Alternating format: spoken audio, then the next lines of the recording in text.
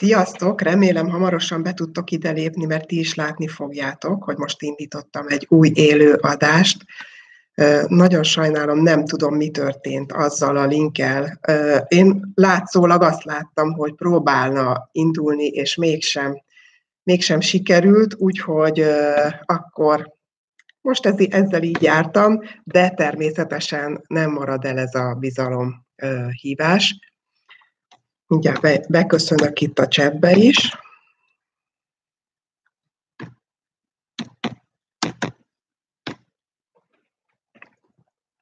Jaj, de jó, hogy, jaj, de jó, hogy láttátok, és hogy átjöttök ide. Szóval, sziasztok, Uneszter vagyok, coach és access minősített facilitátor és elnézést a késedelemért, igazából elég kellemetlen érzés volt itt ülni a képernyő előtt, és nézni, hogy ti bent vagytok, mert láttam, láttam, hogy ott vagytok, mint nézők, és én is láttam magamat, meg ezt a homokórát, ahogy pörög, és üzente, hogy majd nem sokára indul az adás, és nem sikerült azon a linken bekapcsolódni. De mégis sikerül a hívást megcsinálni.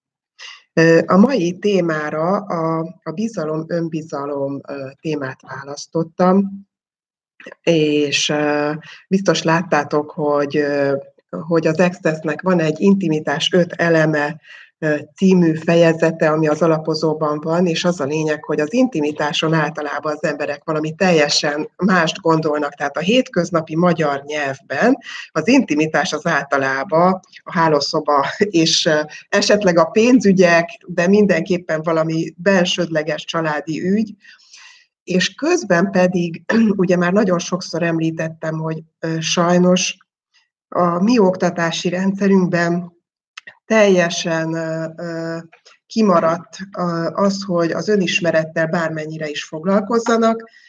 Most igyekszem nem belegondolni semmiféle tudatos választást ebbe, bár szerintem van mögötte tudatos választás. Tehát az a lényeg, hogy ugye hogy is nevelkedünk föl úgy, hogy vannak szüleink, akik közül szintén nagyon sokaknak fogalmuk nincs az önismeretükről, egyszerűen csak vették át az őszüleiktől a különböző mintákat, és hát ki hova jutott el Szia Kinga, ki hova jutott el a saját önismeretébe, a saját életproblémáin keresztül, esetleg néhány ember, aki esetleg pedagógus vagy pszichológus, az külön foglalkozott ezzel, és szerencsére a mai világban, hiába nincs benne az oktatásban, egyre több embert érdekel az önismeret. Ugyanakkor általában akkor kezdenek az emberek ez iránt érdeklődni, amikor valamilyen terület az életben nem működik. És, és akkor valahogy így, hogy úgy mondjam, másodkézből kezdenek el gyanakodni, hogy lehet, hogy valamit változtatni kéne. Én is így voltam vele, tehát én, én felnőtt koromban fogtam hozzá az önismerethez, amikor először a, a Hát szerintem akkor, amikor a házasságunkat megkötöttük, és utána voltak akadozások.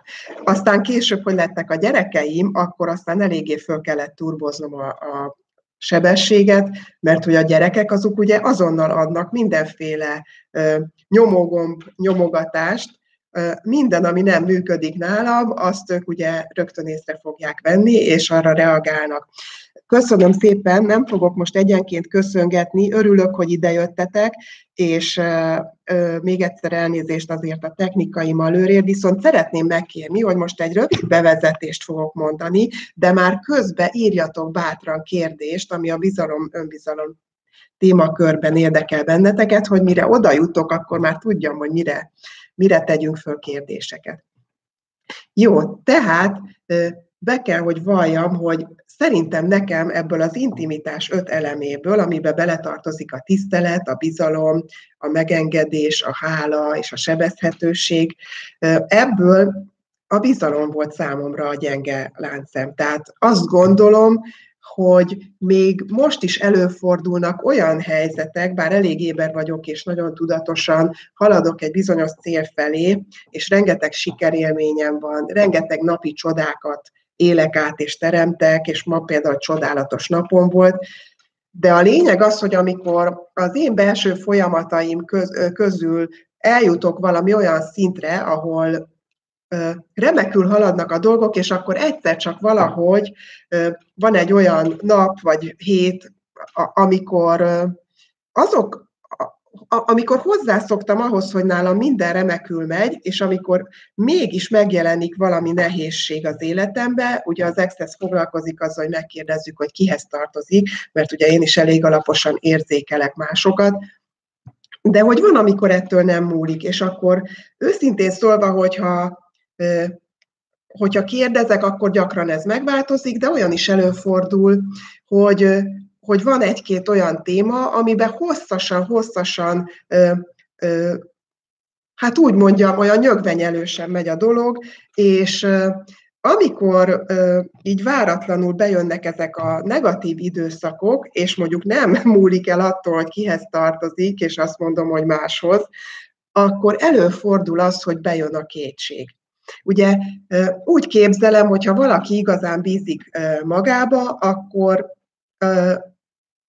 akkor miért is kételkedne magába. Ráadásul nekem rengeteg pozitív visszajelzés van a munkám, meg az életem során arról, hogy nagyon nagy éberséggel intézem az ügyeket, és hogy tényleg nagyon sok sikerélményem van, tehát most már igazán nem ott tartok, mint fiatal koromban, tehát amikor például férhez mentem, akkor szerintem én nekem az önismeretem az még nem volt sehol se, és az önbizalmam sem.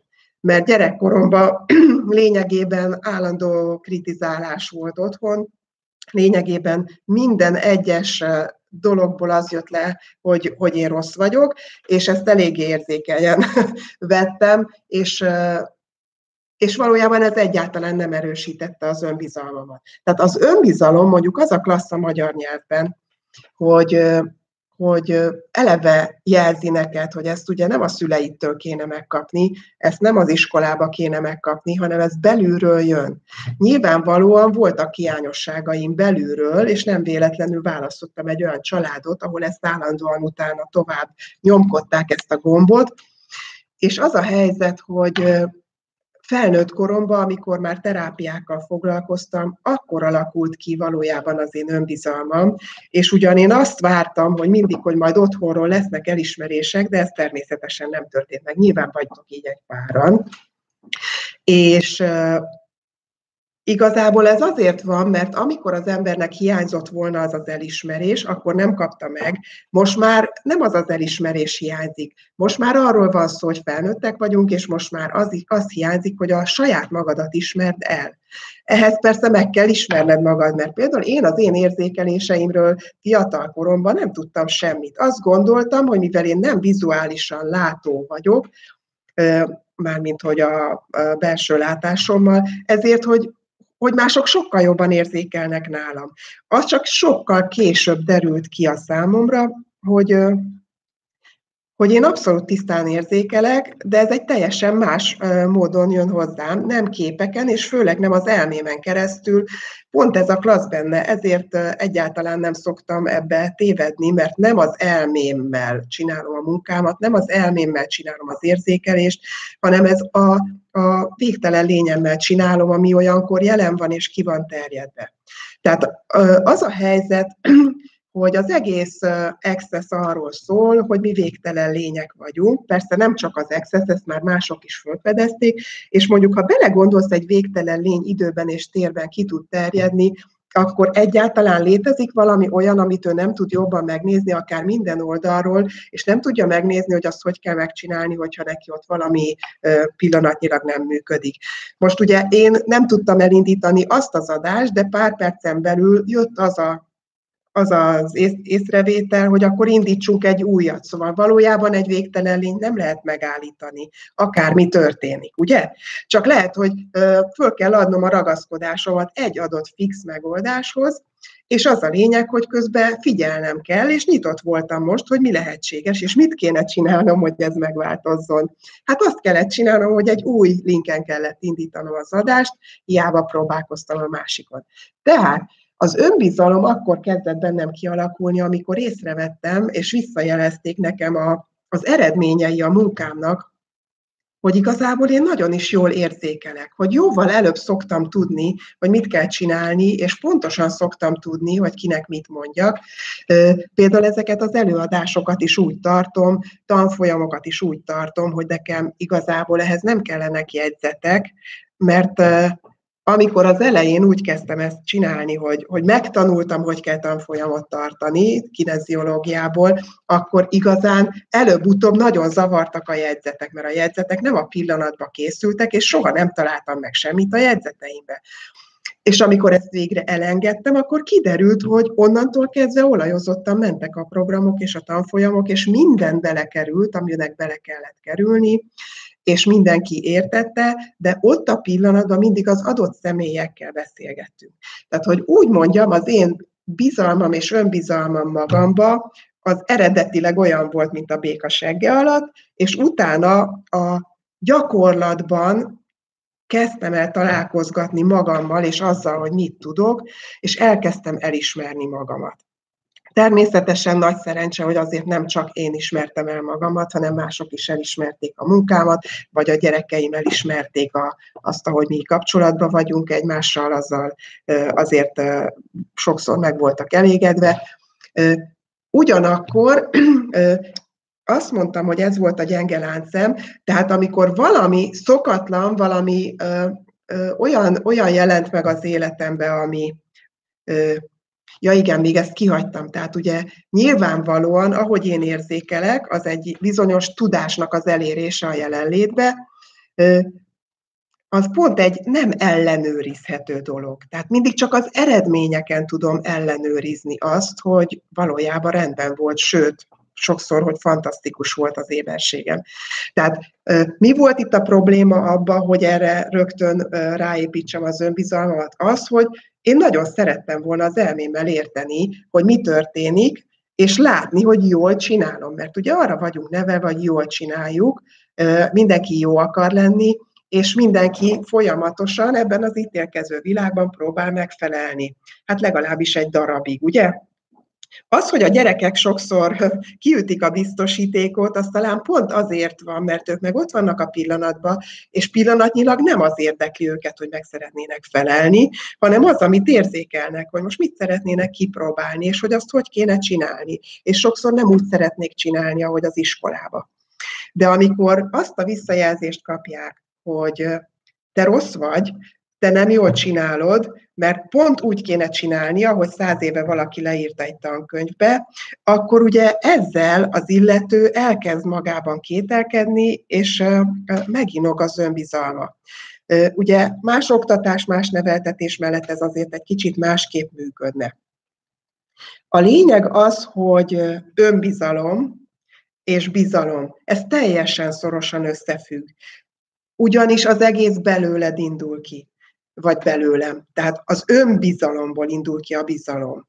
Mindenhol, ahol te belül magadba kételkedsz, és az Access ugye szintén az alapozóba beszél a zavaró beültetésekről is, és Gerinek és Dénnek van egy olyan könyve, ami a megzavaráson túl címet kapta, tehát a félelem, a bűntudat, a kételj, ezek zavaró beültetések. Ugye a zavaró beültetés azt jelenti, hogy van nekem egy programom, illetve hát az a helyzet, hogy ez nem az én programom, hanem mindenkinek van, vagy sokaknak van ilyen programjuk, ami arról szól, hogy ha már túl jól érzed magad, és nagyon kiterjedt vagy, és nagyon jelen vagy, és fantasztikusan beindul az életed áramlása, és elkezded élvezni, és elkezded csinálni a dolgokat, és elkezdesz folyamatosan teremteni, akkor igazából mindig legyen valami, ami benyomja rajtad azt a gombot, hogy állj meg. És ne teremtsél tovább, mert például kezdjél el kételkedni, és addig, amíg kételkedsz, addig nem lesz, nem lesz időd, és nem lesz éberséged arra, hogy a teremtéseddel foglalkozzál. Igazából, ha nem ez az ítélkező világ lenne, akkor még talán ezt a beültetéseket se lehetne benyomni, de így azért be lehet. Tehát mi van akkor, hogyha mi tudatosítjuk magunkba, hogy például a kételj, az csak egy zavaró beültetés, ami arra való, hogy ne magamra figyeljek, ne az élet örömökre figyeljek, és arra, hogy mit tudok teremteni, hanem álljak meg. Mert ugye azért, ha körülnézünk a világba, azt látjuk, hogy nem, minden, nem mindenkinek az az érdeke, hogy te repülj és szárnyalj. Elsősorban pont a rendszereknek nem az az érdeke, mert a rendszerek, a vallás, a társadalom, az oktatási rendszer vagy az iskola, az mindig azt szeretné, hogy ott mindenkivel tök egyszerűen egyformán lehessen bánni, és mindenkinek csak egy szavába kerüljön, és te rögtön üljél le a fenekedre. Na most ugye az emberek nem ilyenek, a végtelen lények meg pláne nem ilyenek.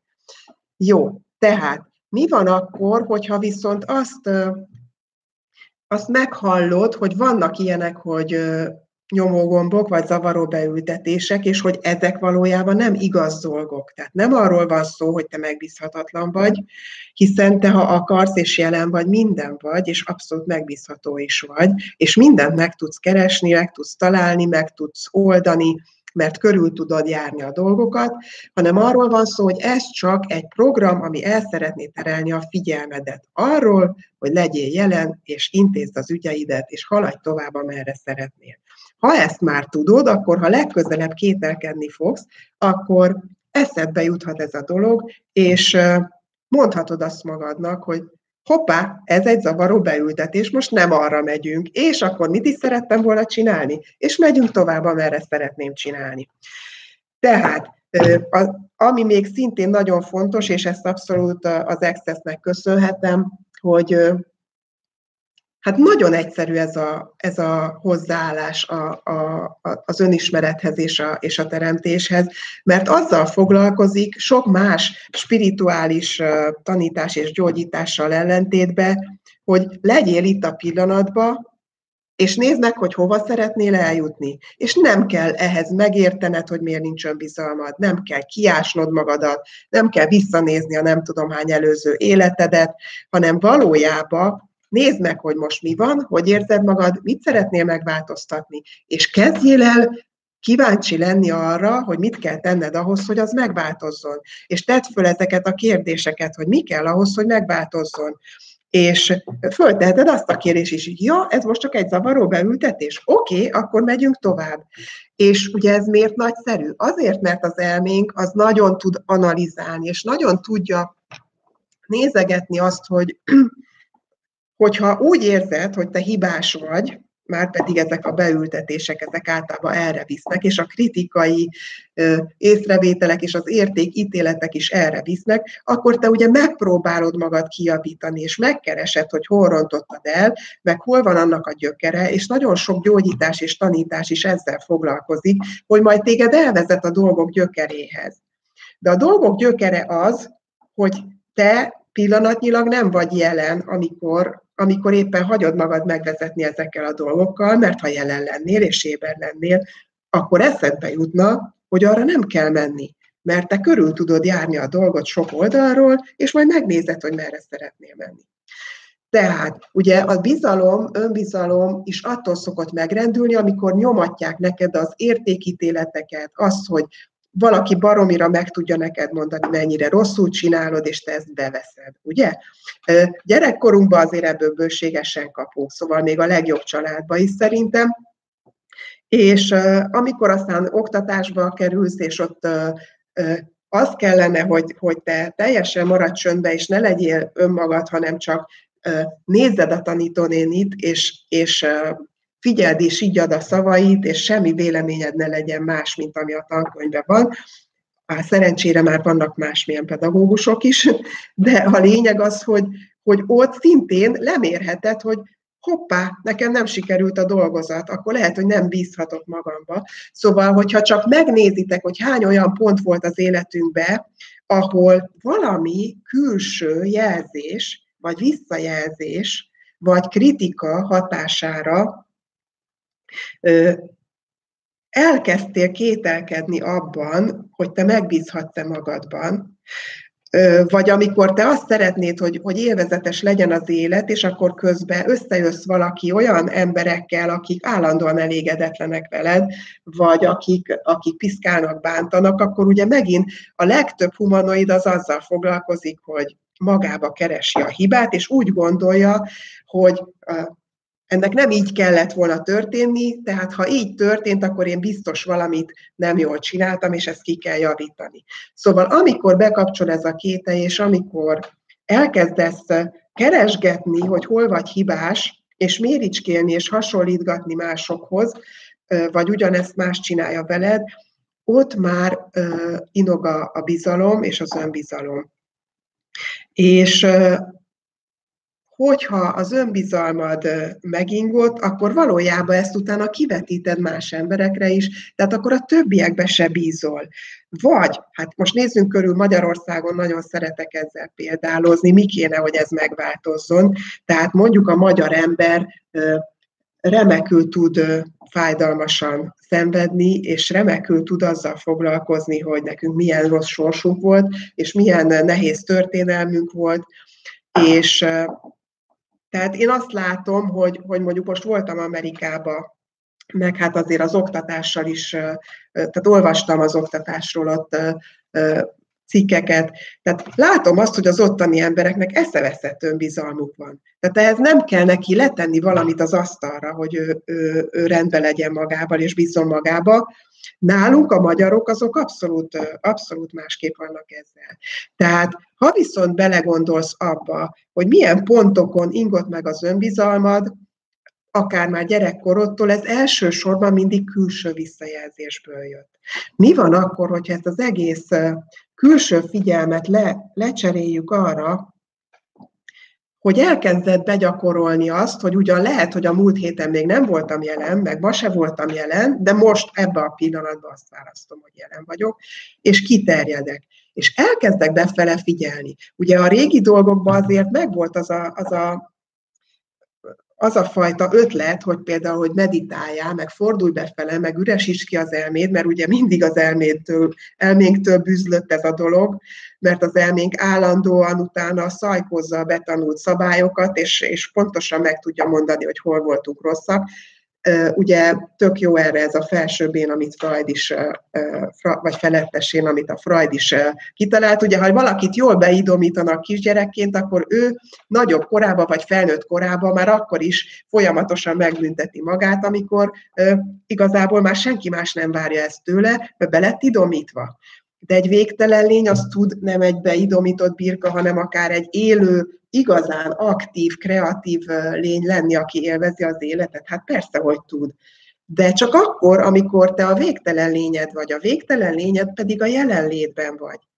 Tehát, hogyha most tud, meditálni szoktál, akkor meditáljál, vagy menjél ki a természetbe, és csináljál légzőgyakorlatokat, és főleg uh, próbáljál adni magadnak mindig időt, ami amikor nem valakikkel körbeveszed magad, és egész nap szöveget hallgatsz, dumálsz, vagy tévé megy, rádió megy, hanem mi lenne, ha lennél magaddal egy kicsit csendben is, akár csak vasalás közben, vagy kertészkedés közben. Tehát mi van, hogyha adnál magadnak úgymond ilyen én időket, és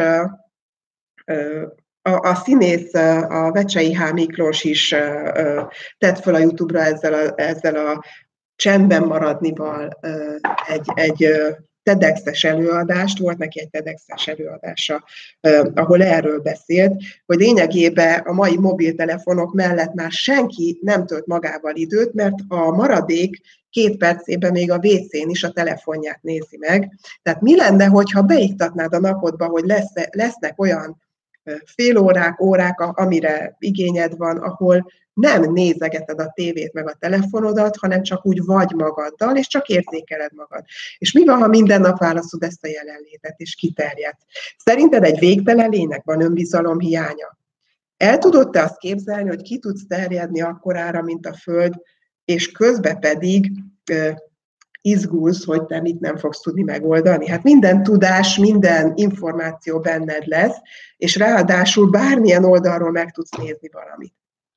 Mi van, hogyha ez az önbizalom, bizalom is csak mindig egy bizonyos nézőpontból tud rosszul kinézni, és mi van akkor, hogyha mindig az önbizalommal kell kezdeni? Tehát, hogyha te magadban elkezdesz bízni, és miért ne bíznál, hogyha egyszer tudsz jelen lenni, tudsz kiterjedni, tudsz körülnézni, végtelen lény vagy, végtelen befogadással, tudással, Lényegében mindenhol, ahol bevetted, hogy te egyébként csak egy kis porszem vagy, és nem egy végtelen lény, hát azt hajlandó lennél félretenni az útból. Van ugye egy tisztító mondata az Accessnek, amiről a Clearing Statement című oldalon tudtok olvasni, illetve hát ha tanultatok bár, akkor, akkor ti már tanultatok erről.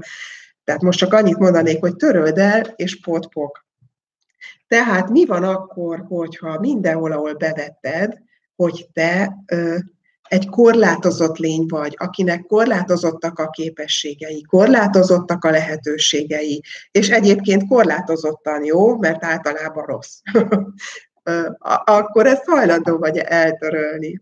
Helyes, helytelen, jó, rossz potpok, mind a kilenc rövidek fiúk és túlon túl. Mi van akkor, hogyha játszol, e- játszol ezekkel az eszközökkel, hogy jelen vagy magaddal, mindjárt majd nézem Kinga, jelen vagy magaddal, kiterjedsz, kicsit elcsöndesedsz, de valójában nem az kell, hogy most akkor lefeküdj egy ágyra és mozdulatlanul legyél. Én ma például hetek óta nem voltam az erdőben, én ott szoktam magammal egy kis időt tölteni, de mondjuk hál' Istennek már nagy gyerekeim vannak, tehát itthon, amikor nincs kliensem, akkor magammal vagyok itthon, és akkor olyankor is általában vagy dolgozom, vagy csöndbe vagyok, és figyelek. Tegnap például festettem, a közben is remekül lehet magammal lenni.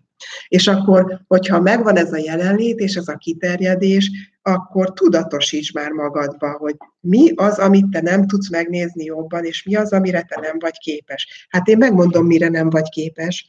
Semmi olyanra nem vagy képes, amit előtte megítéltél, és elutasítasz magadtól.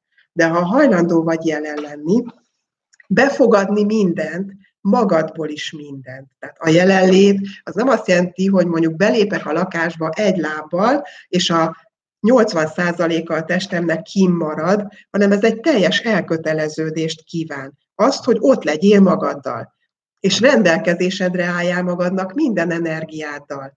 Ha viszont minden energia vagy, ugyanúgy, mint az univerzumban minden létező, akkor, akkor te jó is vagy, meg rossz is vagy, meg csúnya is vagy, meg szép is vagy, végre abba hagyhatjuk ezt az ítélgetést, és nem kell azzal foglalkozni, hogy most melyik nem akarok lenni, mert tudom, hogy ha nem szeretnék lenni, mondjuk csúnya, akkor állandóan vigyáznom kell rá, hogy ne legyek csúnya, és állandóan meg kell ítélnem magam, hogy ma elég szép voltam-e, vagy nem voltam-e csúnya.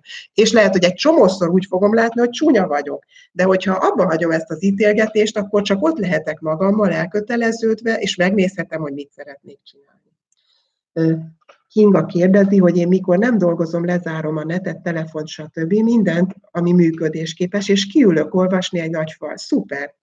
Tehát mi, mik azok a tevékenységek magaddal, ami, ami valójában lehetővé teszi, hogy kezdjed el érzékelni magad, hogy kezdjed el érzékelni, hogy hogy vagy, hogy hogy van a tested, hogy hogy fognak fölbukkanni ötleteid, hogyha közben folyamatosan, például van a, a, a, az egyik gyerekem, aki, aki állandóan számítógépes videókat, meg játékokat nézeget, és olyankor természetesen ugye hagyja magát vezetni azok, azok által a, a, videók által, és lényegében olyankor ő egyáltalán nem foglalkozik magával, mert csak arra kíváncsi, hogy ott mit fog hallani, vagy mit fog látni, vagy hogy kell csinálni.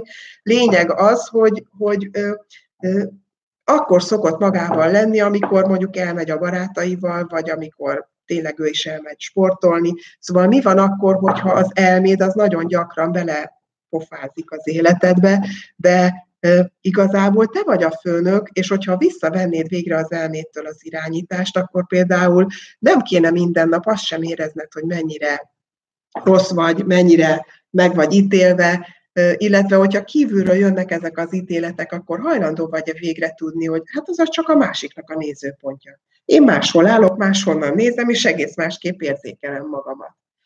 És ez nem azt jelenti, hogy néha nem kaphatsz kívülről valami jó tanácsot, ami addig nem jutott eszedbe, hanem arról van szó, hogy ha jelen vagy, akkor úgyis éber leszel rá, hogy jaj, ő egyébként mondott valamit, ami piszkálja egy kicsit most a kíváncsiságomat. Lehet, hogy azt jobban meg kéne néznem közelebbről, de nem azért, mert ő mondta, hanem azért, mert egy olyan információ, amit te érzékeltél, hogy, hogy van benne valami igazság, és igazából Tehát nem azért, mert mondták neked, és magadra vetted, hanem azért, mert érzed az igazság tartalmát, és ezért fölkeltette az érdeklődésedet.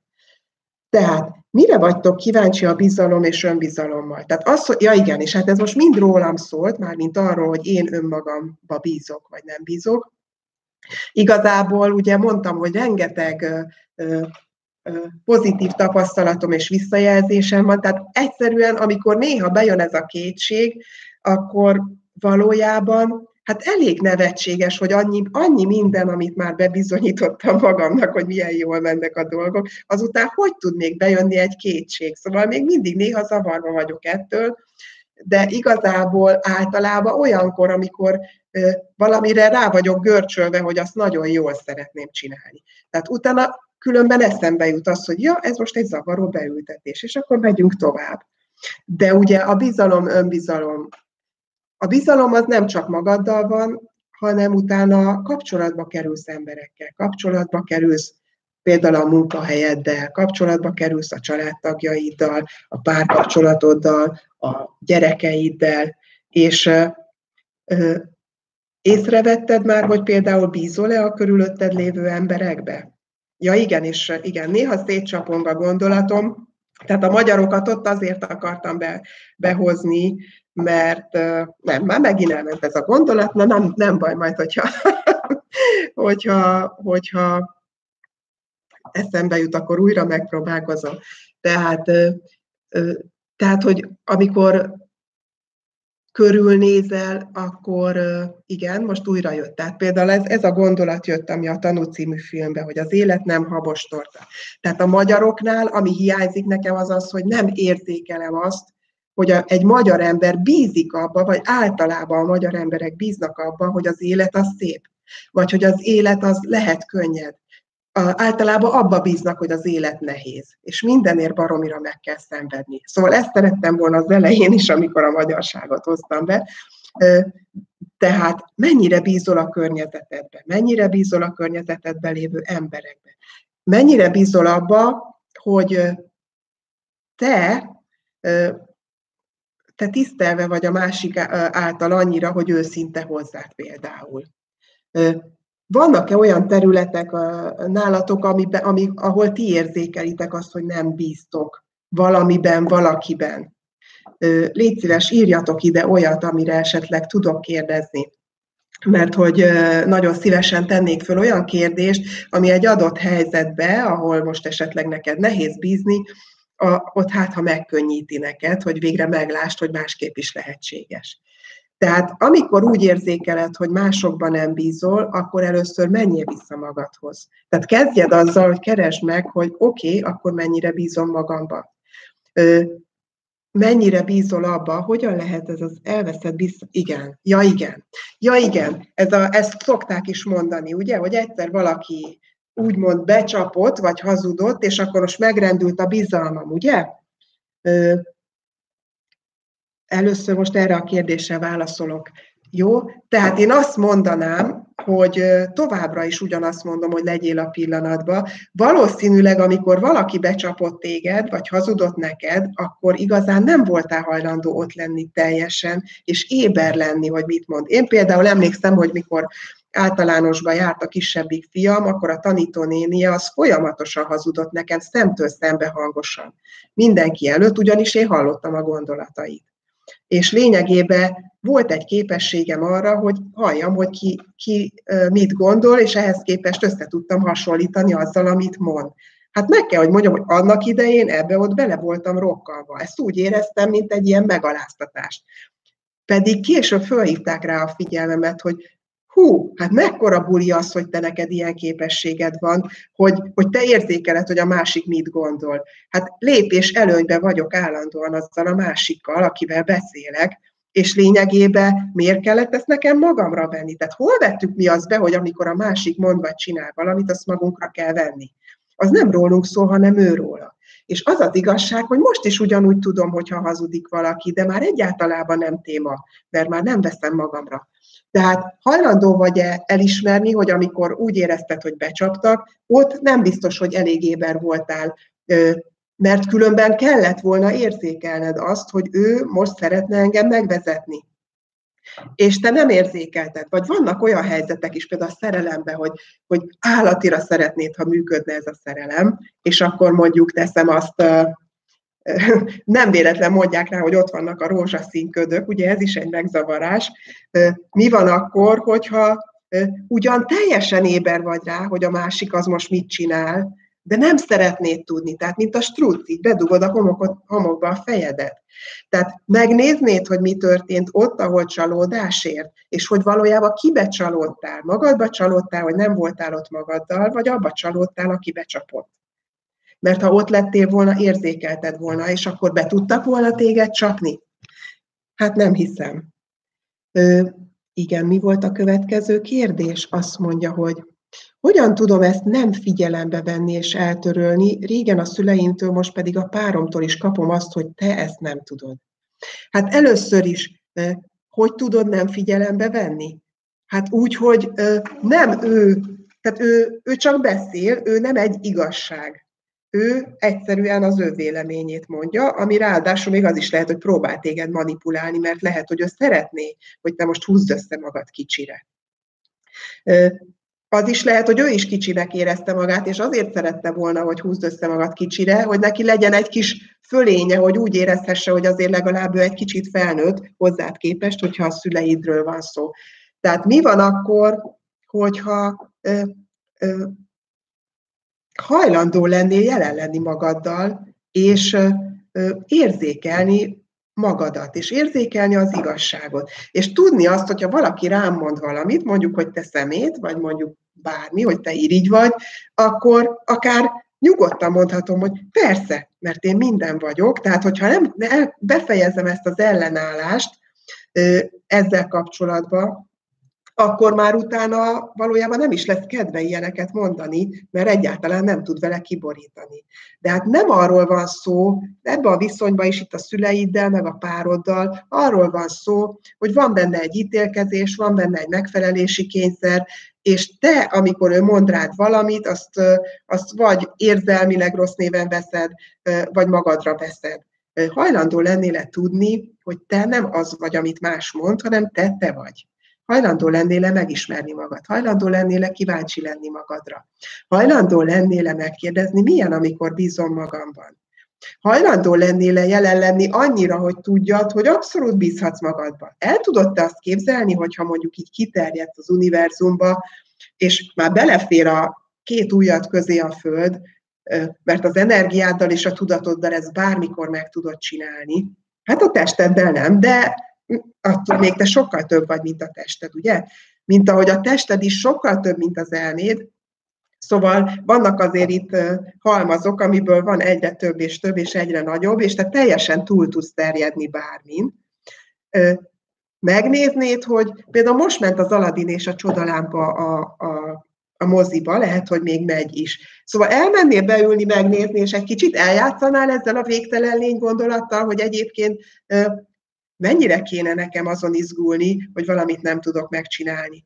Vagy mennyire kéne magamból kiiktatni dolgokat, hát hogyha egyszer pont tök klassz, hogy minden bennem van, és minden tudás is bennem van, akkor miért kéne már nekem úgy csinálni, mint hogyha az egyik tulajdonságom az szemét lenne, és azt ki kéne onnan rakni. Hát nem elfér. Attól én még választhatok mást. Ö, igen. Szeretné a párom, hogy el is higgyem, hogy az vagyok. Például senki semmit semmit se tudsz, igen, jó, de te neked ezt nem kell bevenni, tehát nézzük már meg, emberek, azért van az önbizalomnak az a neve, hogy önbizalom, mert magadról szól, és magadat kell megismerni. Nem baj, hogy nem tanultuk az önismeretet, akkor most kell hozzá kezdeni, jó? El fogsz jutni viszonylag hamar, ilyen tudatos eszközökkel nagyon hamar el fogsz jutni oda, hogy rá, rájöhetsz dolgokra. Hogyha ö, ö, most láttátok itt, hogy ez az intimitás öt eleméről fogok tartani egy ilyen ötestés sorozatot. Minden héten csütörtök este lesz egy kétórás program, amin akár itt nálam személyesen, vagy akár online Zoomon is részt lehet venni, és az intimitás öt elemét végig fogjuk venni, és ezek egyébként sokszor teljesen összefüggésben vannak egymással, tehát azért érdemes mind az ötöt választani, Mert lehet, hogy az egyiket azt hiszed, hogy nálad nem jól működik, és azt az egyet rendbe teszed, de lehet, hogy az még fű alatt a másiknál is elő fog bukkanni. És mivel az emberek állandóan ezzel töltik a napot, hogy ítélgetik egymást, és ebbe vagyunk beleszocializálva, hát ebből úgy tudsz kijönni, hogy megtanulsz jelen lenni, és túlterjedsz ezeken a dumákon, és megnézed, hogy milyen vagy, és megnézed, hogy mi mindent szeretnél, és mire vagy képes. És hát, hogyha végre nem utasítod el semmelyik tulajdonságodat, akkor felőlem hozzám vághatja most valaki, hogy mondjuk én fiú vagyok, de mikor venném én az be? Hát éppen látom, hogy lány vagyok, megérzékelem is, hogy lány vagyok, legfőjebb röhögök rajta egyet. Hol vetted be, hogy mondjuk a te nem tudsz semmit, az egy más kifejezés, mint az, hogy mondjuk azt mondja neked valaki, hogy fiú vagy, mikor lány vagy. Tehát érzed, hogy valójában ez is csak egy duma, az is csak egy duma, ez is csak egy információ, az is csak egy információ. Csak bizonyos információkról már tudod, hogy tudod, a többiről meg azt hiszed, hogy nem tudod.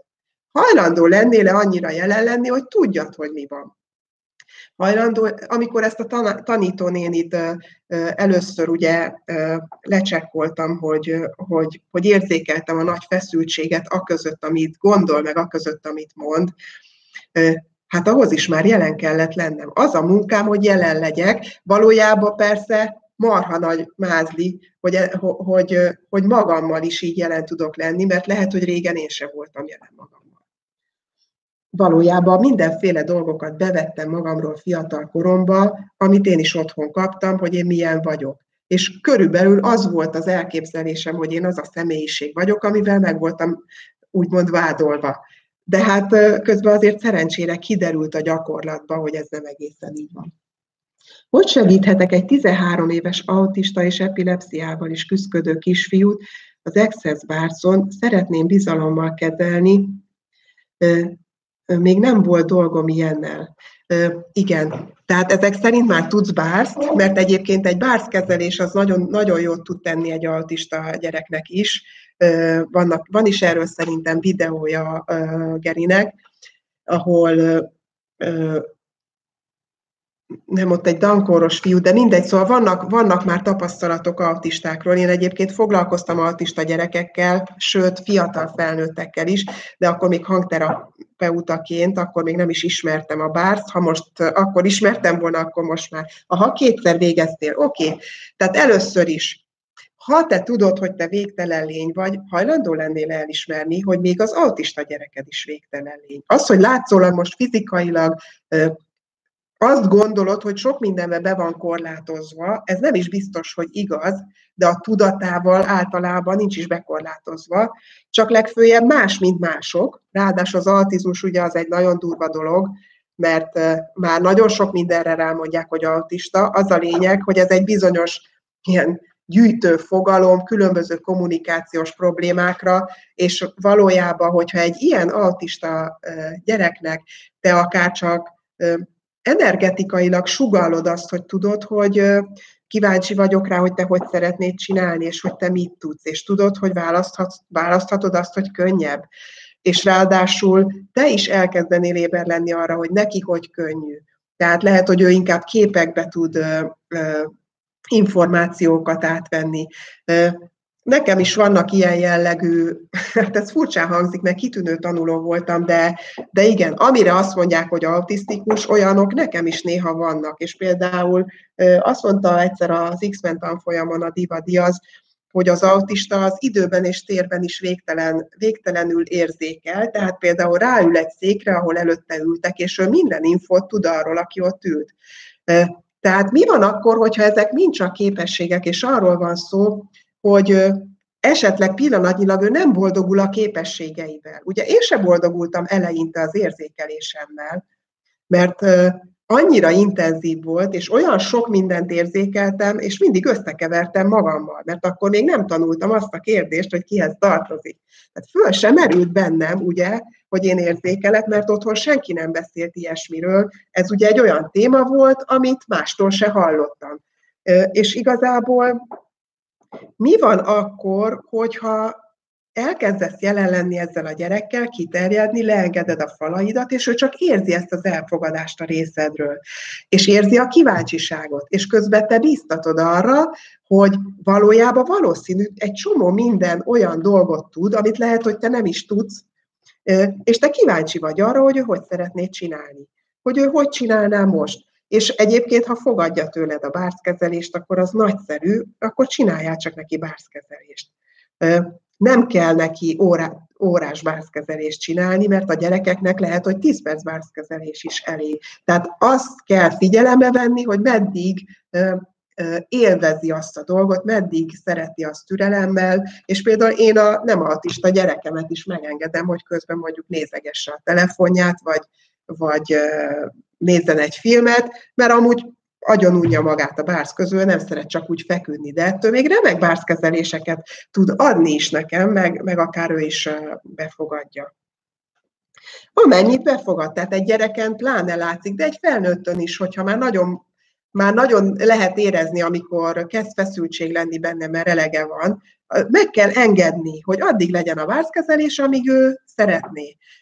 Hogyha, hogyha esetleg tanultál olyat, hogy áramkörök helyreállítása, azt is lehet az epilepszia miatt.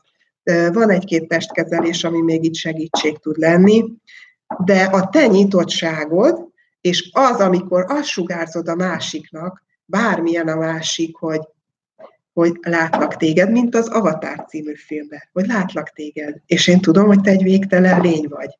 Te már észrevetted, hogy végtelen lény vagy? Tehát ez, én azt látom, hogy velem még az autista gyerekek is remekül el voltak, volt, aki beszélt is velem, egyszerűen azért, mert nem érezték az ítéleteimet. Mert tudták, hogy úgy, úgy, úgy fogadom őket, ahogy vannak, és nem akarom őket most mindenáron megszerelni és megváltoztatni, hanem egyszerűen csak kíváncsi vagyok ott, hogy most mit lehet együtt csinálni, és mi, mire van szüksége, és mit szeretne. Tehát nagyszerű a bárszkezelés bármiféle érzelmi, vagy energetikai, vagy bármi más problémára. Rajzolás közben is lehet futtatni, ha nem érek hozzá? Hát ezt most így hirtelen nem nagyon tudom elképzelni. Én azt mondanám, hogy még az autista gyerekeddel is úgy kezelje, hogy előtte szóljál neki, hogy megengedi-e, hogy szeretné-e, hogy kezeljen. Tehát nem stikába, súnyogva, titokba elkezdelek kezelni, mert hogy a gyerekek érzékelik az energiát, úgy is fogja tudni, hogy mit csinálsz. Mi lenne, mi lenne, ha megkérdeznéd? És mi lenne, ha megkérnéd, hogy feküdjön az öletbe, és közül beraksz egy mesét? De akár mondjuk vehet az ölébe egy rajzot, és, és megengedheted, hogy rajzoljon. Ez a kissé fél, ezt megkérdezném Kinga, hogy igazság, legyél jelen, terjed ki, és igazság, ki fél, ő, vagy valaki más? Például akár te. Vagy akár bárki más, akit ő érzékel. Tehát oké, oké, oké, oké.